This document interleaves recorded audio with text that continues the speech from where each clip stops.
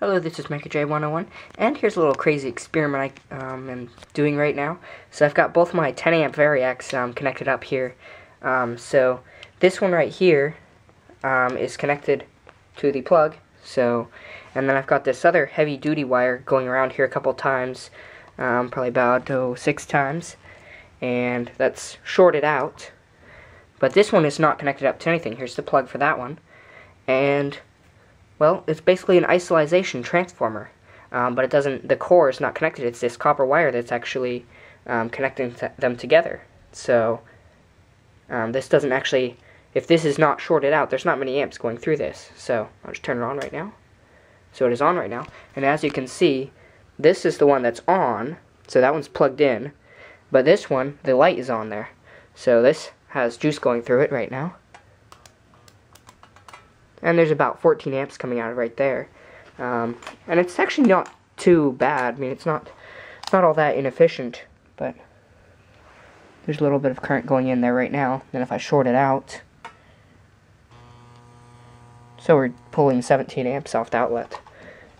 Um, and then if we, so this wire right here actually has a ton of current going through it. Um, so I'll short this out again and we get 600 amps right there. So that's not bad.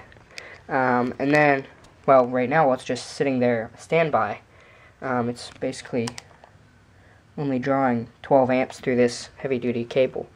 So um, and then if we actually plug this second variac in um, then we get um, twice the amps. Well actually they're kind of fighting each other. So now we're getting a lot more amps out of here um, so, do that right. Oh, there we go. Almost, almost a thousand amps there. And it just blew my little breaker on here, so. But yeah, it works pretty good. And I get a nice big spark off of here, too. Which I should have something under here so I don't melt the carpet. But, let me just check the voltage, see how many volts we're getting there. So, both variacs are on right now. So one is kind of adding to the voltage of the other one right now. So we're getting 6 volts, almost 6 volts AC off there.